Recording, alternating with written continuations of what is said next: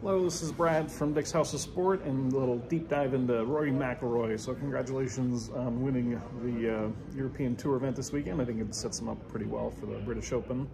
And uh, I'll give you kind of my two picks, probably not a surprise to anybody, but I'm going to go with Rory and Jon Rahm here this weekend. I think Jon's been playing way too well not to win this year, and I think he's due. So um, let's take a look at Rory's swing here first, and probably do Jon later in the week.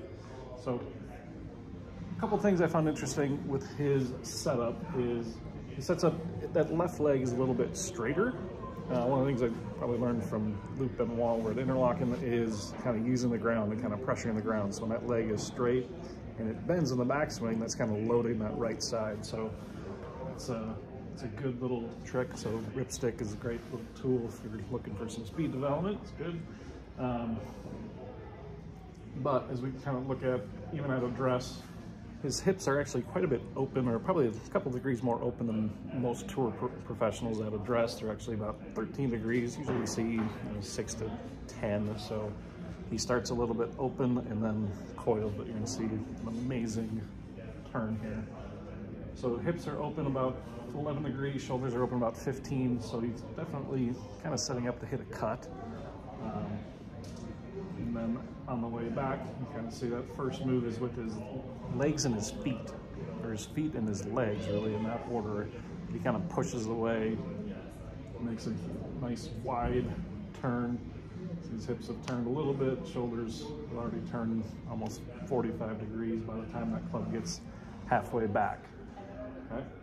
So probably the biggest difference between Rory and the other tour professionals is this right here at the top is he's got 113 degrees of shoulder turn.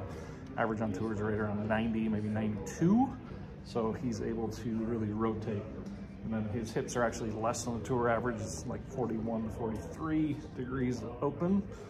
And but actually what I want you to watch here is what, is, what his legs do. So his left leg has bent probably about nine or 10 degrees. So it's about 25 degrees. His right leg's actually a little bit inverted, but watch, watch how he uses the ground here. There's a nice little sit, and he starts pushing with that left leg. By the time his arm gets level to the ground here, that left leg starts pushing back, okay? And by the time he gets down to the ball, that lead leg is actually inverted, or he's pushing back. So acceleration, if you pull across, you can move that club, but you pull up, that's a lot faster, right?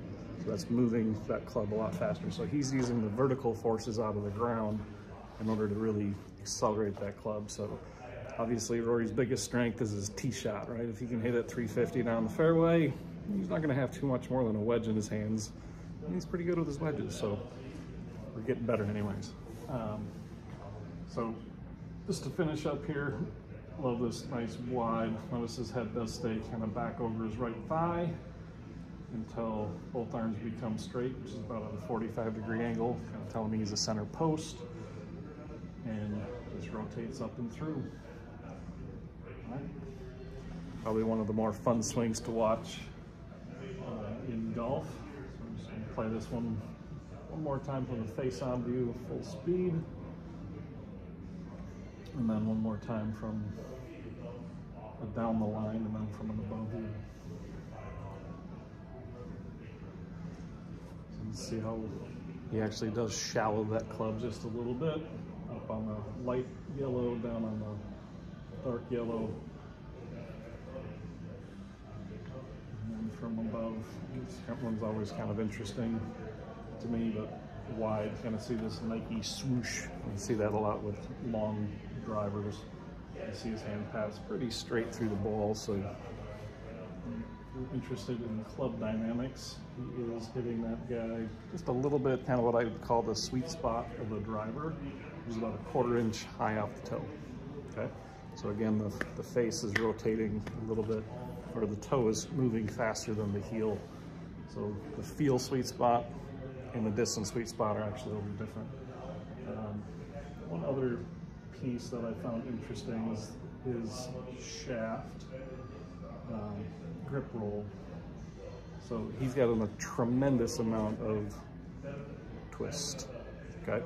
So like 30% more than most tour pros. But if you like your little help with your swing or want to get in and get your swing uh, analyzed and find simple ways to make it a little better, feel free to give me a call at 952 401 4653. See you soon.